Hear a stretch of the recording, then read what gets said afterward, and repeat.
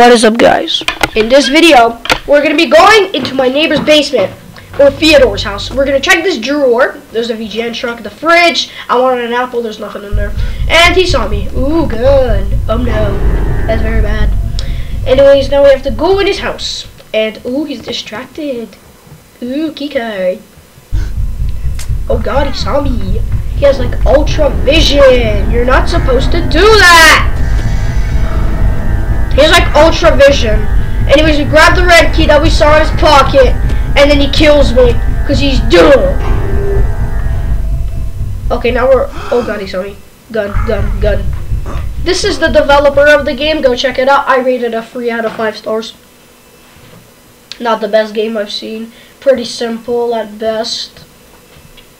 And then you grab the key. You open the door and the crowbar, and that's basically the whole game. But as you guys saw in the title, you are about to see Milk Banana Man. Get ready for Milk Banana Man! Milk Banana Man!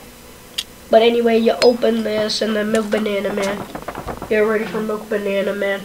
He in this text it says he was too lazy. He was too lazy to make the basement, so use this thing. I don't know what to call it. It's a banana man. Milk Banana Man. Anyways, guys, I hope to see you guys in the next video. Bye, and I hope I see you guys next time.